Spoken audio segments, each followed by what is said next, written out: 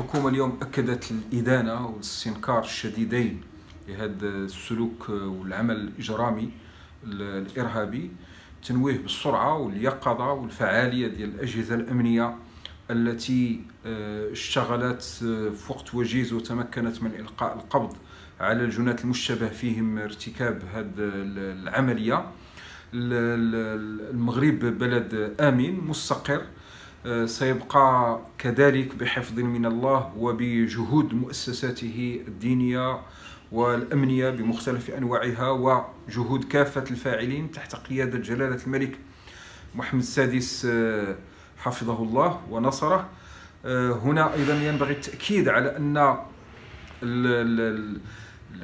التحقيق القضائي يجري تحت إشراف النيابة العامة المختصة وسيتم إطلاع الرأي العام بكافة النتائج المتوصل إليها بخصوص ملابسة ارتكاب هذا الفعل الدوافع والخلفيات المرتبطة به بخصوص أيضا الكيفية التي حصل بها وبخصوص أيضا تحقق من فرضية الدافع الإرهابي والتي تدعمها القرائن ومعطيات إجراءات البحث. ليقظ السيد الوزير ديال المصالح الأمنية هنا أيضا ينبغي التأكيد على الاستمرار وتعزيز اليقظة الأمنية لمختلف الأجهزة والمؤسسات الصاهرة على حفظ أمن و سلامة الوطن تحت قيادة جلالة الملك حفظه الله.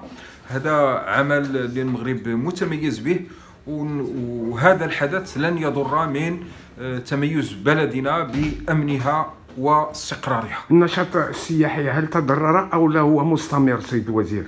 نشاط سياحي مستمر لا يمكن القول بأن هنالك تراجع لابد من التنويه بإقدام عدد من السياح على زيارة تلك المنطقة. ليست هنالك تقييدات على السياح الحمد لله بلدنا كما قلت كما كان وكما هو الآن وكما سيبقى بإذن الله امنا مستقرا.